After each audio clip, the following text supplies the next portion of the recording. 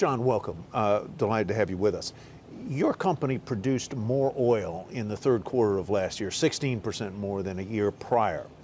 The question that comes out of that is why are you doing that? Is the market in balance or is it oversupplied? I mean, you know, you look today and uh, there is definitely some short term headwinds. Uh, long term, we are very constructive on the oil market. And if you look, we are really back to where we were pre COVID levels. So a lot of the recovery, and you saw the growth last year, uh, we worked down a large DUC count uh, in the U.S., um, but we've really kind of gotten back to our pre COVID levels. And in general, we will target to sustain the company or grow at very low single digits. Last week was a rough week for oil prices. Where do you see prices? What's the range for this year if you had to guess? I mean, I think we're in a world today where, you know, clearly it's an election year. Uh, historically, election years have been hard. Uh, there's a lot of battle to try to keep, keep prices down. prices down, everything there. Um, but I, you know, like I said, we think that uh, inventory's in a pretty good place.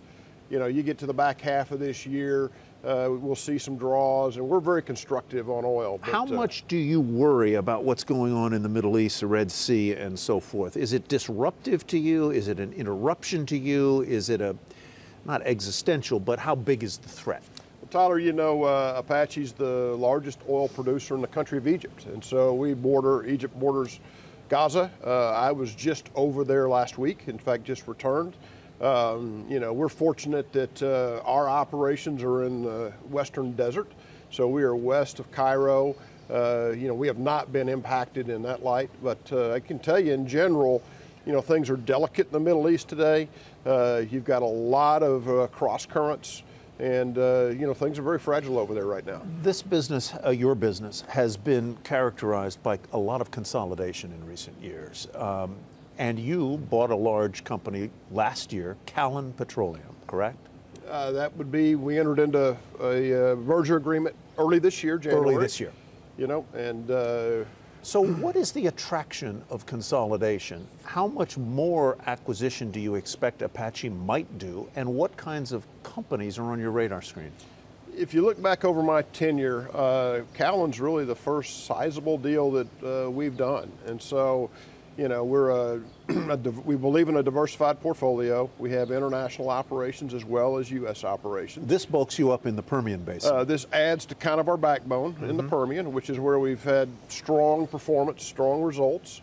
Uh, if you look at our Permian, uh, we've got critical mass and scale in the Midland Basin, and you know what Callon would do for us is really bolster our Delaware Basin. And so, um, you know, we look at it as a you know a strategic uh, transaction. Uh, it's very opportunistic and it's very accretive. So you know, could you do more acquisition? You know, Might I, you? I just if say so, we, I just say we have a very high bar, and uh, you know, we're you have to have a high bar.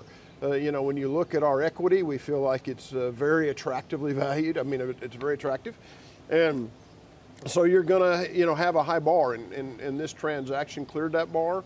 But uh, like I said, this is the first you know sizable transaction that we've done in, in my tenure, uh, you know, nine years. John Christmann, thank you very much for being with us. Thank you.